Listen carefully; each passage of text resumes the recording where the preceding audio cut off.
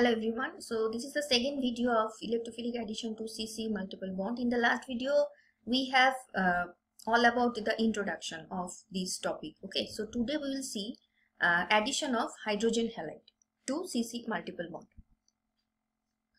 So here we will first see the addition of HX that is any hydrogen halide. It may be HBr, it may be HCl. Okay, so it is in general. The first step is the protonation of the double bond. So here we will take the structure as it is general mechanism. So there may be any groups. Don't think all these are uh, methyl groups. These are not methyl groups. These may be any groups. Okay. So these are this is the structure of any general alkene. So first there will be protonation of the double bond. So that means this H that will act as the electrophile here because we are talking about electrophilic reaction and our reagent is HX and this HX here the positive part is H. So you can consider it as if there is partial positive charge and there is partial negative charge. So this part is actually our sorry this part is actually our electrophile okay? And this part is nucleophile. Actually this is a negative part of the reagent. We should not call it nucleophile because the first there will be protonation. So that is the actual electrophile that is E plus. So as there is protonation that means CC double bond that will act as nucleophile. So it will capture this H and there will be CH bond formation and positive charge on this carbon. Now depending on what type of groups are present though we have not mentioned any groups depending on the nature of the groups H may be added to the right hand side carbon or it may be added to the left hand left hand side carbon and it depends on which carbocation will be more stable okay so as it is a general structure we will not go into that point. That will be discussed in a separate video. Okay so this is the first step. And remember this is the RDS step. That is the rate determining step. It is a slow step. And this requires very high activation energy. And also this reaction is endothermic. So if you look at the energy profile diagram this is the first step activation energy del E1 okay so this gap that is very high. That is if you compare with the activation energy of the second step obviously del E1 that is greater than del E2 next step we will write the species again. So this is actually our intermediate. I am writing here as i. This is the intermediate and you can also see the intermediate here. This is our i. So x minus now it is free in the medium. That is the negative part of the our reagent. So this x minus now it will attack this c plus. And this is the first step. And this step is exothermic.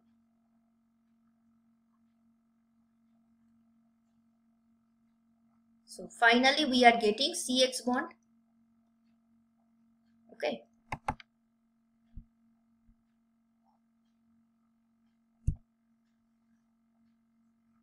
So this is the second step activation energy and this is the final product. So this is same as this one. And this product that we are seeing here that is actually this one. That is the intermediate.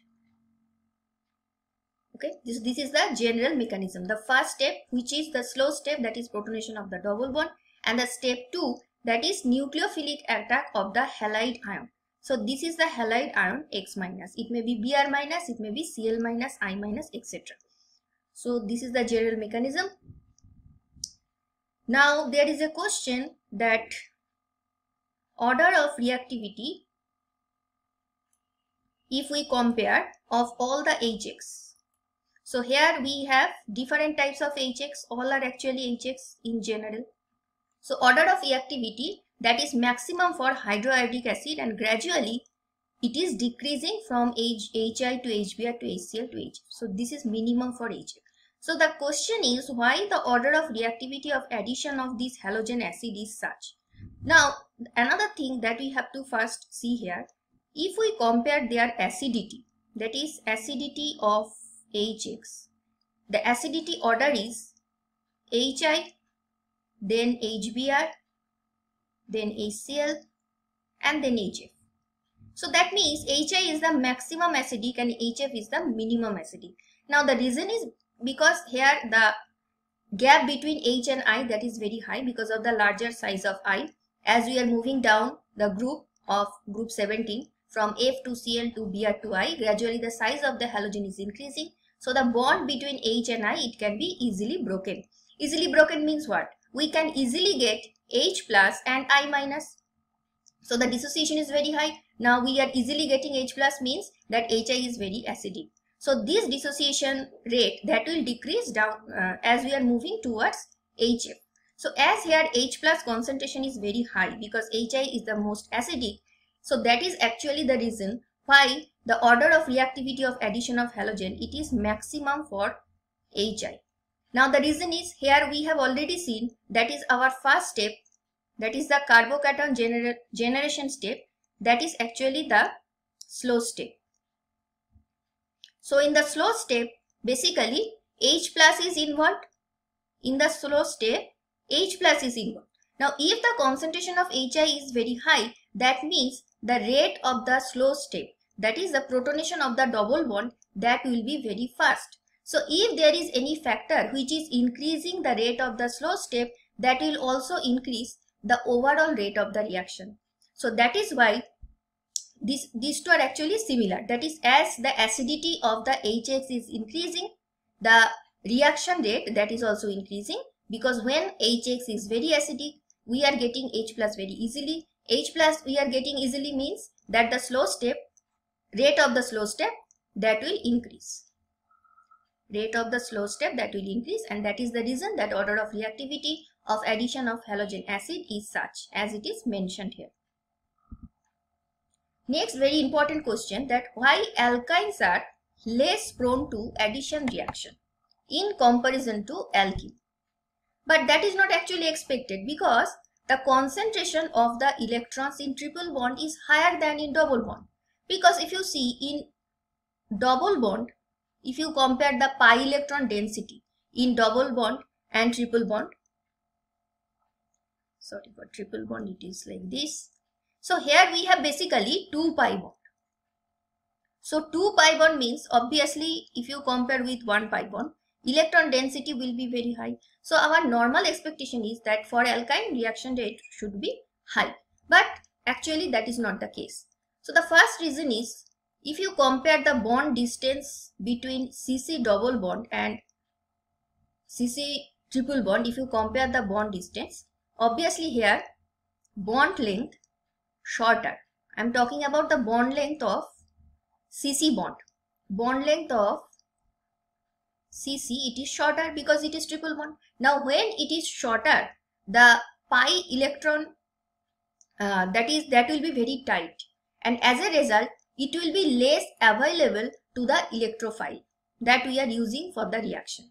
So here because of the shorter bond length, the pi electron that is very stable compared to the pi electron of the CC double bond and that is the reason that the attacking tendency towards the electrophile in case of alkyne that will be less. Second reason, from the triple bond after electrophilic addition, the carbocation that we are getting, suppose this is the addition, CE bond is formed. So this is the carbocation. And if it is CC double bond, after the electrophilic addition, here the double bond that we are getting, sorry, here the positive charge that we are getting, that is, I mean to say carbocation, that is sp2 hybridized.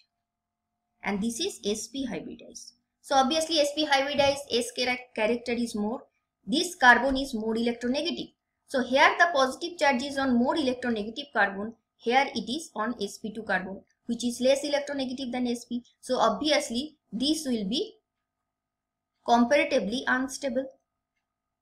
That is if you compare the carbocation stability in this case in case of alkyne and alkene, the carbocation that you are getting from alkene that is more stable. So that is another reason that uh, alkynes are less prone to addition reaction. So these are the two main reasons. Okay. And in case of there is a special case we can consider suppose we are adding any uh, that is there is some cyclic ion form that is instead of carbocation we have already discussed it about discussed about it in the last video. Suppose there is bromine addition. So suppose it is not hx addition.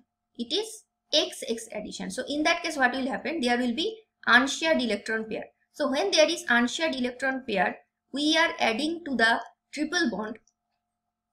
The we are not getting any free carbocation. Rather we are getting this type of cyclic intermediate. So this x may be cl this x may be br. Now this is the case this is the cyclic intermediate you are getting from triple bond. But if the if it is double bond then the intermediate cyclic intermediate you will be getting that is this one. Now the question is in which case it is more stable? See here it is more strained compared to the second case. Now why it is more strained because this angle is 60 degree but this carbon is sp2 okay? So there is normal angle it should be 120 degree but it is highly deviated from 120 degree. 120 minus 60 it is almost 60 degree deviation. So obviously this is not stable. But if you compare here this carbon okay? Actually there is another one so if you compare this carbon here it is sp3 now sp3 means 109 degree and this angle is 60 degree. So here if you take the difference that is 109 minus 60 this difference and 120 minus 60 this difference obviously very high. So in the first case that is in case of the cyclic intermediate that we are getting from alkyne here the deviation from normal bond angle that is expected bond angle that is more it is almost 60 but in this case it is 109 it is almost 50 so obviously here deviation is less so this will be more stable.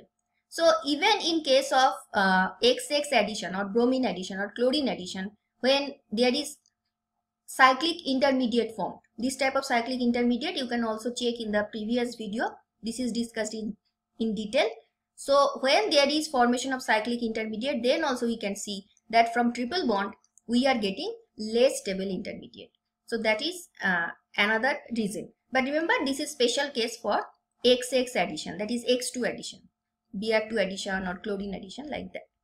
So these are the three main reasons. Next we will see rearrangement in alkene addition. Yes that is also possible. So first we will see rearrangement where hydride shift is taking place. So here the molecule that we will take this one CH3 CH3 then C CH double bond CH2 so here we will take, uh, suppose we are taking HX. So there will be protonation and after protonation this is our carbocation. So here the H is added. Now there may be a question that why not the H is added to the another carbon. Now the reason is here the carbocation that you are getting that is 1 degree but this is 2 degree so obviously this will be more stable and this will not be formed. So it is actually related to Markovnikov rule and that will be discussed probably in the next video. But right now we have to focus on the rearrangement of the carbocation. So this is the first carbocation that is formed, not this one because it is leading to less stable carbocation. So after this carbocation formation, we have to check in the molecule that is there any rearrangement possible after which we can get better carbocation intermediate. I mean to say stable carbocation intermediate that we have to check in the structure. Now yes, yes it is possible here. And how it is possible here? It is possible by hydride shift. So here this H, it will be shifted at this H plus and it will be shifted as H minus that is it will shift with its electron density. So that is what is hydride shift. H minus is hydride. So when the hydride will be shifted, now H H. This is our new carbocation. So what is the driving force for the rearrangement? The driving force is from 2 degree carbocation. Now you are getting 3 degree carbocation. obviously that is more stable carbocation and that is the driving force of rearrangement. In the medium we have X minus, this will attack here. And finally we'll be getting X CH2 CH3 okay. You can also write the full structure. Next we'll see alkyl shift. So we will take one molecule like this HX so after the protonation obviously now we know which carbocation is more stable. So hydrogen will be added at the right hand side terminal carbon. That is at this carbon hydrogen will be added.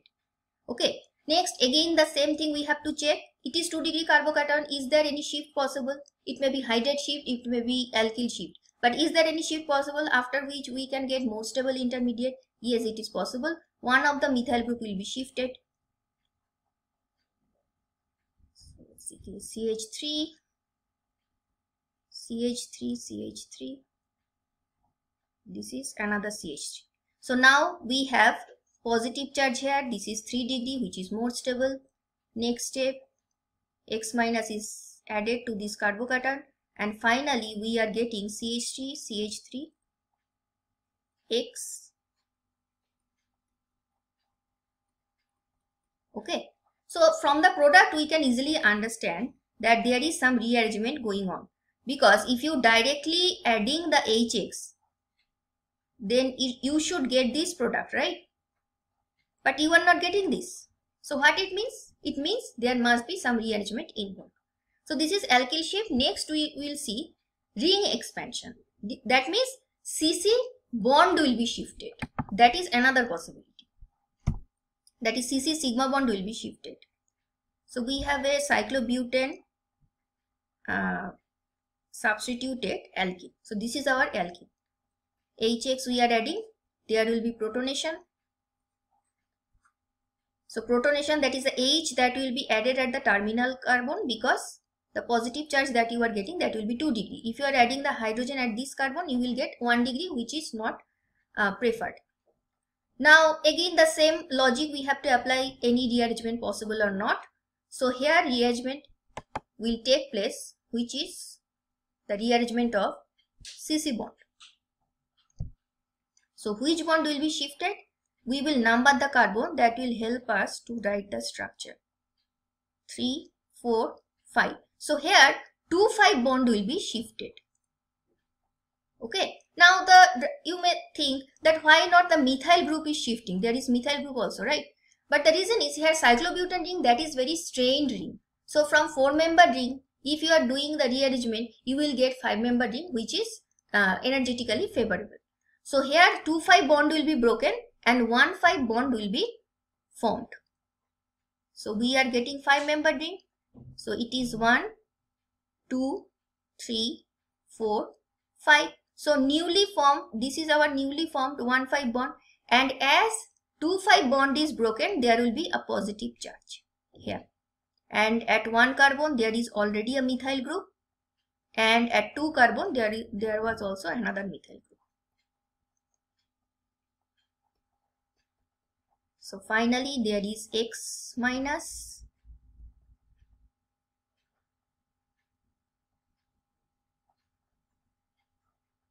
so it is always better whenever some cc uh, bond shifting is taking place it is better you number the carbon. It will help you to uh, write the proper structure after the rearrangement. CH3 X CH3 fine? So that is all about this uh, rearrangement.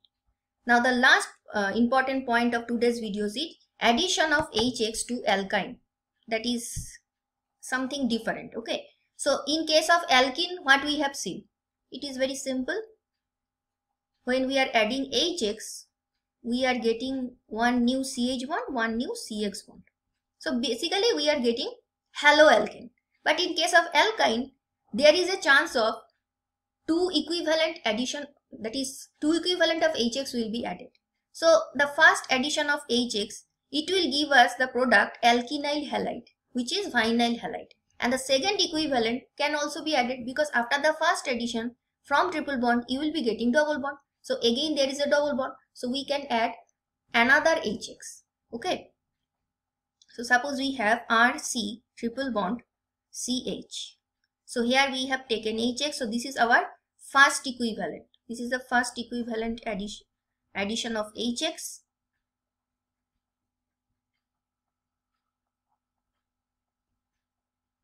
so hydrogen will be added at the right hand side carbon. Now why it is so? Because here the positive charge that is stabilized by the alkyl group it, it, it has some plus I effect. So because of this plus I effect the positive charge that will be generated on the left hand side carbon. So H will be added at the right hand side carbon. Next this X minus that will be added. So R C X double bond CH2. Now we will add the second equivalent. So this is the addition of first equivalent. This is the addition of second equivalent. R, C, X. So this is actually our alkenyl halide. Suppose this is A. Alkenyl halide. Geminal halide is B. So this is our A. So next we have. So this alkene is now our starting material. We are adding another HX.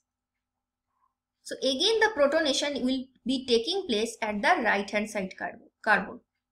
Now why it is so? CH3. See the reason is here HX means what? It may be HCl, it may be HBr. Now HCl, HBr there will be unshared electron pair, there will be lone pair. So this lone pair at, at a first glance it, it seems as if this is electron withdrawing because it is chlorine or bromine. So this positive charge will be highly unstable but actually the reason is not so because this alkyl group, first of all, it has some plus I effect. And also this lone pair over X, it will stabilize the carbocation. So you can get this type of resonance structure. X is positively charged now.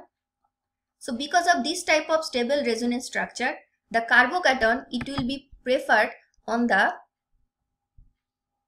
left hand side carbon. So carbocation is preferred at this carbon because here X is already present. So because of this resonance structure, it is very stable. So finally, last step is X minus addition.